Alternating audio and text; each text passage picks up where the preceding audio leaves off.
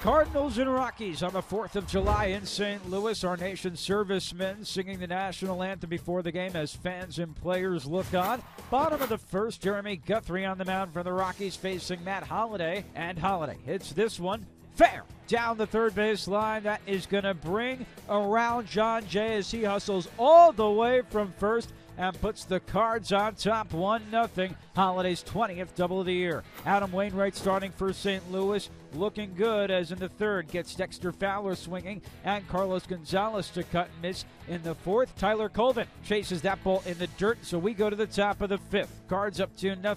Jeremy Guthrie now at the plate, and Guthrie helping himself as he goes over the drawn in infield for the base hit. That brings home Jonathan Herrera, and the Cards lead cuts to 2 to 1. Guthrie's first career RBI, fourth career hit. Later in the frame, Colvin up with the bases loaded, two out, but he flies out, and that will end the inning. Cards cling to their one run lead. So we go to the top of the sixth. Big play here as Herrera at the bat with two on.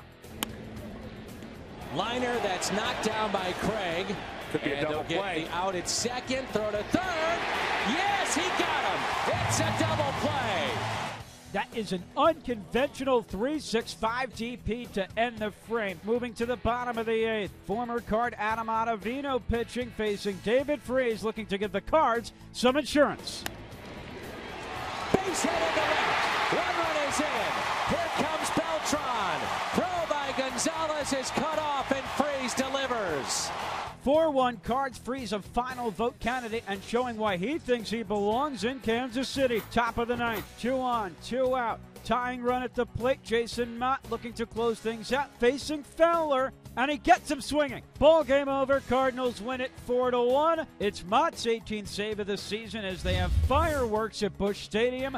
Holliday, three for four, a run and an RBI. Holliday red hot of late, four homers, 19 RBI since June 16th and Wainwright in the win goes six innings, allowing eight hits, one earned run, a walk, and he struck out seven.